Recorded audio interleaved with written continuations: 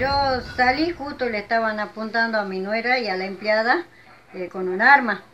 Eh, uno de, de, acá, del, que para acá en el barrio de Bárcena, el chico este, en la casa de del diarero, de Lunquita. Y, y yo me quedé quieta porque él me apuntó con el arma.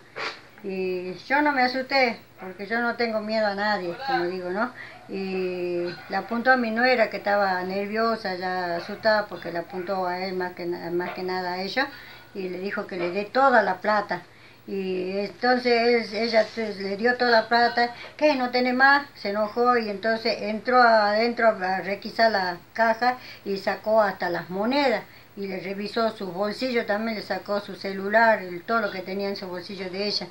Y después tiró todos los cigarros, agarró cigarros, paquete, montón de paquetes de cigarros y se llevó y salió disparando. Y yo salí por atrás de él y lo, lo corrí tras de él, corrí, lo seguí, a para dónde se iban. Entonces entraron a la casa del chico este que se llama Cuchi, Y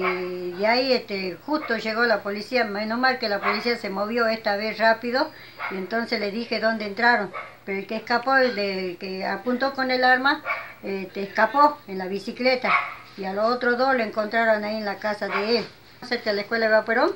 ahí le encontraron ese trayecto, le encontraron el que nos apuntó, ahí estaba tirada la bicicleta, le quitaron todo, ahí estaba tirada, lo reconocí porque él vino